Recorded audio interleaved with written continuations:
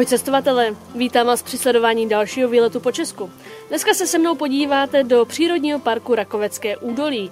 Nacházím se na Vyškovsku, 15 km od Vyškova v obci Račice a odtud budu pokračovat po Červené právě směrem do Rakoveckého údolí a následně do Jedovnic a nebo do Bukovinky. Pak se ještě rozhodnu, eh, kde bude dnešní výlet končit.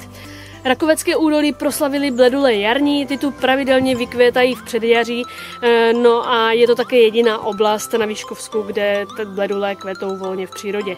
Aktuálně stojím eh, na kopci nad obcí Račice, kam jsem dojela autobusem eh, a odkud budu teda vyrážet. No a tady na tomto kopci stojí místní dominanta, Račický zámek. Původně na konci 13. století tu stával hrad, který byl v 16. století přebudován na renesanční zámek. Aktuálně je zámek teda v rekonstrukci a přes letní měsíce by měl být otevřený pro návštěvníky a také pro ty, kteří mají zájem se třeba tu ubytovat. Takže já teďka sejdu dolů do vesnice a budu po červené už směřovat do Rakoveckého údolí.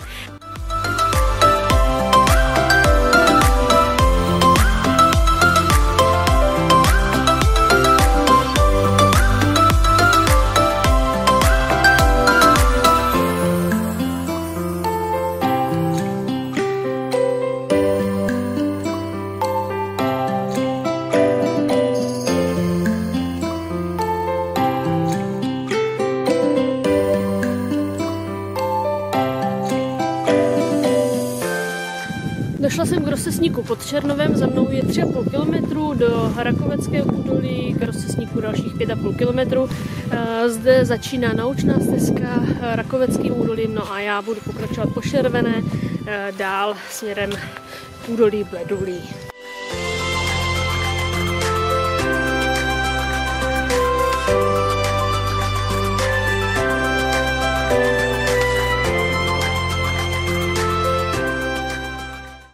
Zde v Rakoveckém údolí eh, kolem Rakoveckého potoka je několik eh, pramenů. Tady byla vysvětlivka o artéském pramení, jak to funguje a vzhledem k tomu, že dneska mrzne, tak jsou všechny ty prameny zmrzlé.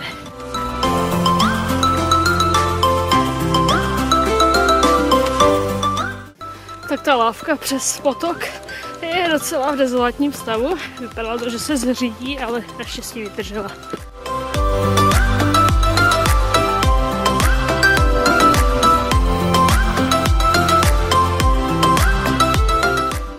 Takže mám za sebou další dva kilometry a teďka jsem odbočila na dalším rozcesníku Malý Rakovec a pokračuju dál po Červené k dalšímu rozcesníku 3,5 kilometru. No a teďka na té trase už bych měla narazit snad na ty bledule někde.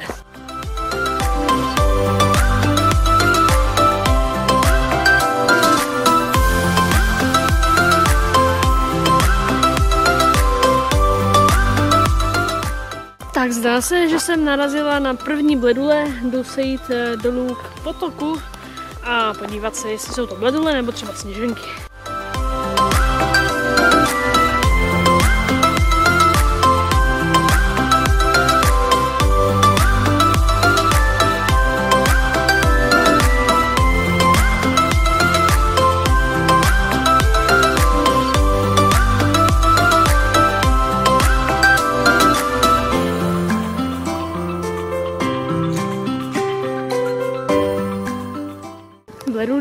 Opravdu hodně a ochranáři to tu ohradili páskami, za které by se nemělo chodit, aby se nepošlapaly bledule, protože jsou chráněny.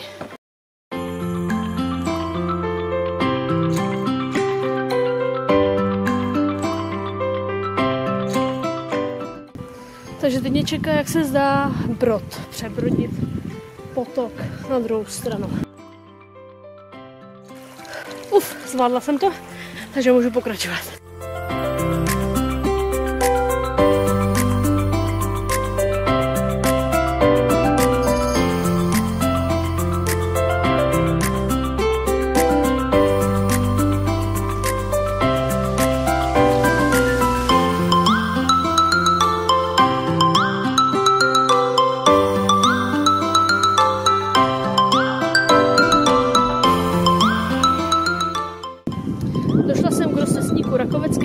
Sebou mám 9 km, no a odtud eh, by cesta pokračovala pokračoval dál do Jedovnic. Celkově by to bylo ještě 6,5 kilometrů, ale já to tentokrát vezmu po modré do Bukovinky. To, co jsem chtěla vidět, to jsem viděla, krásné bledule, takže ještě 2,5 kilometru.